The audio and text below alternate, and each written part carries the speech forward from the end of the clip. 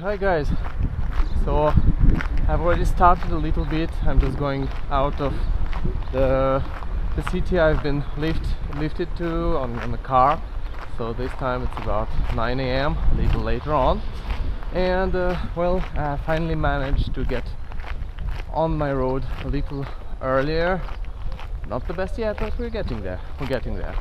Anyways, it's gonna be even more sunny today than yesterday and yesterday was about 48 degrees on the, in the sun so I'm preparing myself for a rough day the good news is I'm running 44 kilometers and I should be over by 4 p.m. so earlier than yesterday which is great because you don't want to be out uh, in between 4 and 6 p.m.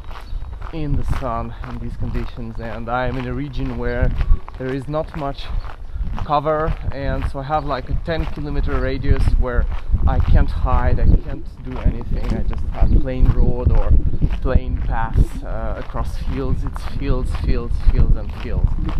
That's it. Well, what you can see here is my beginning. I'm going through a bike path, uh, which is absolutely great. Uh, well, it might not be protected as well as others, but I have woods around. I've been lifted to an area where uh, there is quite a lot of small woods, so I, I have a path laid in that goes round and round to follow that. So let's hope I'll be protected uh, as much as possible. And uh, and that's it for today. So I'm starting the day on a good basis. Uh, I've been able to uh, well everything is working for now so uh, the the run laps I'm doing I'm I'm, I'd be really glad to know what you think about it, if you have any advice, any opinion, faster, slower, how to change the angle, etc.